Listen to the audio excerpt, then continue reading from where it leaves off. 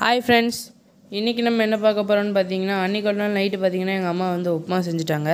எனக்கு பார்த்தீங்கன்னா உப்புமானா பிடிக்காதுங்கிற டென்ஷனில் உட்காந்துருந்தேன் சரி கிச்சனில் போய் பார்ப்போமேன்னு பார்த்தா நாலே நாலு ப்ரெட் இருந்துச்சு.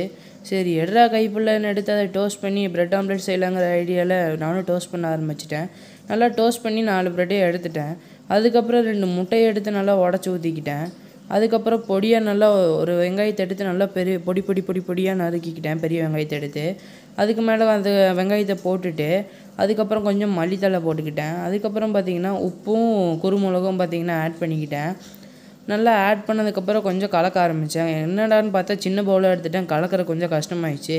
சரி பொறுமையாக கலக்குவோன்னு கலக்கிட்டு அதுக்கப்புறம் அடுப்பை பற்ற வச்சு தோசைக்கல்லை வச்சு அது மேலே எண்ணெய் ஊற்றிட்டேன் எண்ணெய் ஊற்றுனதுக்கப்புறம் நம்ம கலக்குனதில் பாதி அளவு மட்டும் ஊற்றி நல்லா ஸ்ப்ரெட் பண்ணி விட்டுக்கிட்டேன்.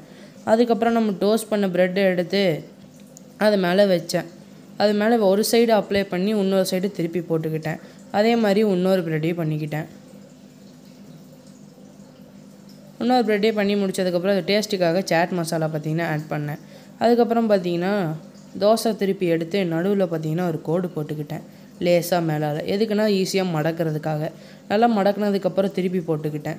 திருப்பி போட்டு நல்லா அமுக்கி விட்டுக்கிட்டேன். எதுக்கு அமுக்கிறேன்னு கேட்டிங்கன்னா கொஞ்சம் வேகும்.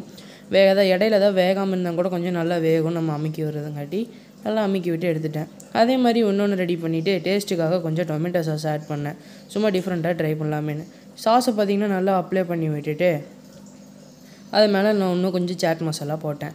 உங்களுக்கு ஆப்ஷனல் தான் நான் முதலே சொன்ன மாதிரி இப்போ பார்த்தீங்கன்னா அதை திருப்பி போட்டு நல்லா கட் பண்ணேன். கட் பண்ணும்போது பார்த்தீங்கன்னா எனக்கு ஒரு நல்ல ஃபீல் கிடச்சிது. கட் பண்ணுறக்கே சூப்பராக இருந்துச்சு. அது அப்புறம் பார்த்தீங்கன்னா பிளேட்டில் எடுத்து போட்டு பிளேட்டிங் பண்ண ஆரம்பிச்சிட்டேன். பார்த்தீங்கன்னா சூப்பராக அழகாக இருந்துச்சு. எனக்கு பிளேட்டிங் நானும் எப்படி பிளேட்டிங் பண்ணேன் அப்படின்னு எனக்கே ஒரு மாதிரி இருந்துச்சு. நம்ம உள்ளே போட்ட மசாலாலாம் பார்த்தீங்கன்னா பார்க்குறதுக்கு க்யூட்டாக இருக்குது இது பிடிச்சிருந்தா நீங்களும் ட்ரை பண்ணி பாருங்கள் மறக்காமல் நம்ம சேனலை லைக் பண்ணுங்கள் ஷேர் பண்ணுங்கள் மறக்காமல் பக்கத்தில் இருக்கிற பெல் ஐக்கானை கிளிக் பண்ணுங்கள்